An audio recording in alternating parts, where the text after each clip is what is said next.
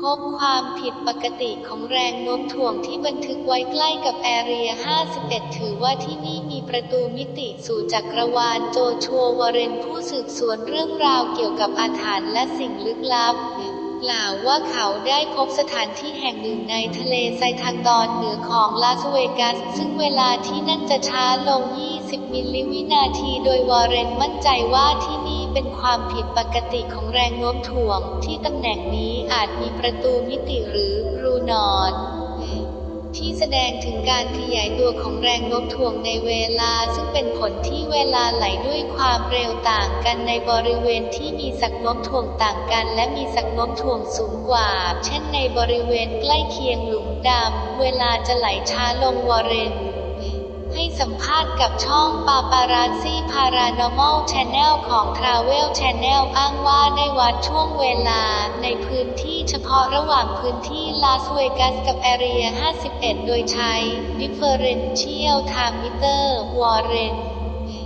บันทึกการวัดสามารถพิสูจน์ได้ว่าเวลาที่ จุดนั้นได้ช้าลงจริงการขยายเวลาโน้มถ่วงคือผลที่เวลาไหลด้วยความเร็วต่างกันในบริเวณที่มีศักยภาพโน้มถ่วงต่างกัน และยิ่งมีศักโน้มถ่วงมากขึ้นเช่น ในบริเวณใกล้เคียงหลุมดำ เวลาจะเดินทางช้าลงเอาเบิร์ตไอน์สไตน์รวมผลกระทบนี้ ไว้ในทฤษฎีสัมพัทธภาพและตั้งแต่นั้นมา การขยายเวลาก็ได้รับการยืนยันโดยข้อพิสูจน์ของทฤษฎีสัมพัทธภาพทั่วไป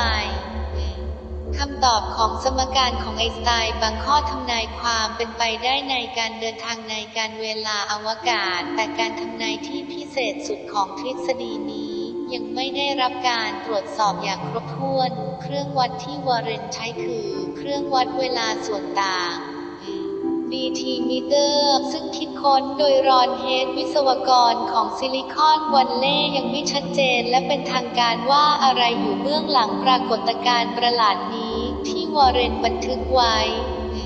แต่ผู้ตรวจสอบมุ่งมั่นที่จะดำเนินการสืบสวนค้นคว้าในเนวาดาด้วยความหวังว่าจะระบุ สิ่งที่อยู่เบื้องหลังความผิดปกติทางโลก แน่นอนว่าพื้นที่เหล่านี้ใกล้กับ Area 51 เป็นศูนย์กลางของการพบเห็น UFO ที่วัตถุลึกลับนั้นได้ปรากฏยานโดยบินออกมาจากภูเขาที่นั่น บางทีความผิดปกติของแรงโน้มถ่วงเหล่านี้อาจเกิดจากการมีอยู่ของ stargate จริงที่เชื่อมต่อกับฐาน S4 หรือมีฐานใต้ดินที่เราไม่รู้ว่ามาจากต่างดาวหรือทางภาคพื้นดินหรือไม่